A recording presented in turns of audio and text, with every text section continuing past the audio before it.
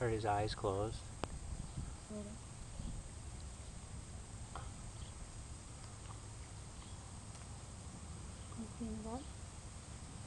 That's good stuff.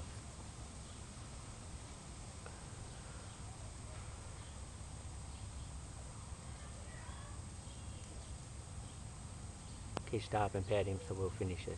Yeah, she's a good guy. Holmesy.